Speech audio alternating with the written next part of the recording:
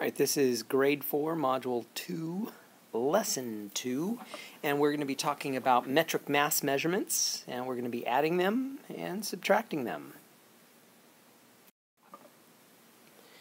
And in this problem, we're being asked to find the equivalent measures, and in this case, it looks like most of them are in the smaller units. And so for this first one, we have 2 kilograms and 700 grams, and we're supposed to write that in grams only. So 2 kilograms is equal to 2,000 grams plus the 700 grams that we already have, so that gives us 2,700 grams. Let's skip down to problem C. So 29 kilograms and 58 grams. Well, 29 kilograms so that's essentially 29 thousands.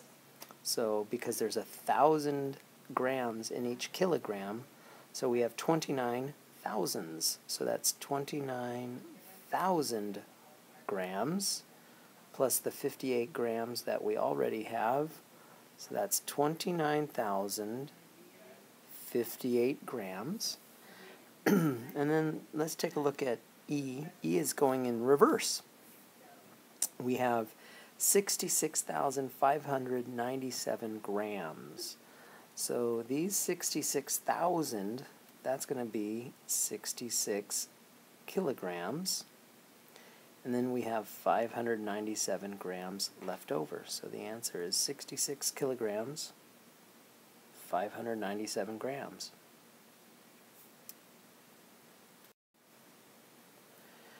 Right, for these, we're being asked to add and express the answer in the smaller unit, meaning uh, since we've got kilograms and grams, the smaller unit is going to be in terms of grams. So let's add.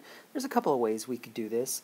Um, one way is to say, all right, well, let's take the 27 kilograms and the 547 grams, and we're going to add 694 grams. So let's add the grams to the grams. So 7 plus 4 is 11, carry the 1. 1 plus 4 plus 9 is 14, carry the 1. 1 plus 5 plus 6 is 12, so we have 1,241 grams. And then we could add the kilograms together. There's nothing down here, so 27 kilograms plus 0 kilograms is equal to 27 kilograms. But we know that a thousand grams equals a kilogram. So if I subtract a thousand here, that leaves us with 241 grams left over, and that extra thousand kilograms that I've subtracted out, I can move it over, and that equals 28 kilograms. That equals one additional kilogram. So we end up with 28 kilograms, 241 grams. There's other ways that we could have solved that problem. Like we could have taken the 27 kilograms and turned everything into grams. Oh, hey, by the way, I forgot. They want us to express the answer in the smaller unit. So really, this I need to go back. I need to look at this. This is not really our final answer. This, is, by the way, is the right answer. Uh, but they want us to express the answer in grams.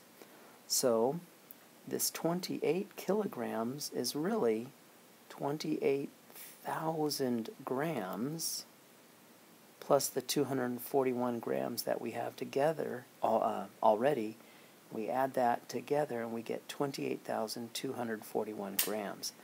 That is our final answer. Now let's go up here and let's do this next one. Again, we're supposed to express the answer in the smallest unit, or the smaller unit, which is, in this case, grams. So let's do this problem a different way. Let's take the 16 kilograms and let's convert that into 16,000 grams Plus, we all we want to add to that the 20, uh, 2,800 grams. So we have 16,000 grams.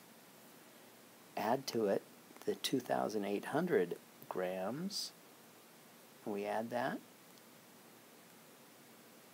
And we get 18,800 grams. And that is our final answer because they wanted us to express the answer in the smaller unit.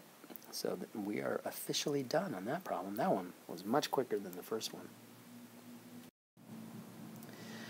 All right, in our last example, we have a bag of potatoes and a bag of onions that weigh a total of 11 kilograms, 15 grams. And if the bag of potatoes weighs 7 kilograms, 300 grams, how much does the bag of onions weigh? So I'm going to draw a tape diagram of this. And our tape diagram is actually going to be a part-part whole. So we've got the, uh, let's call these the potatoes, and let's call these the onions. And together, they weigh 11 kilograms, 15 grams.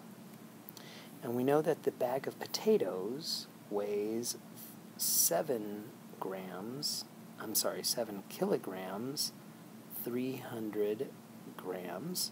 And the question is, what does the bag of onions weighs, weigh? So that's our question mark right there. So what we need to do on this problem, one way to solve it, is to use subtraction. So we're going to subtract 11 kilograms, 15 grams, and we're going to subtract 7 kilograms, 300 grams. So there's a couple of ways we could solve this problem. Uh, let's do it kind of the algorithm way, although we, we can do it either way we want. But now we're going to start with the 15 grams and the 300 grams, and we're supposed to subtract. But you can't subtract 300 grams from 15 grams. So we're going to take one of these kilograms, leaving us with 10 kilograms left over, and we're going to bring that over here. Now that one kilogram that we're taking is worth a thousand grams. Add that to the 15 that we already have. That gives us 1,015 grams. So now we can subtract 1,015 grams minus 300. And I'm going to do that over here on scratch paper. 1,015 grams, subtract out 300 and that gives us 715 grams. So that's right here, 715 grams. And then over here, 10 kilograms minus 7 kilograms gives us 3 kilograms. And that is our answer 3 kilograms, 715 grams. And that's how much the onions weigh. And that is Grade 4, Module 2, Lesson 2.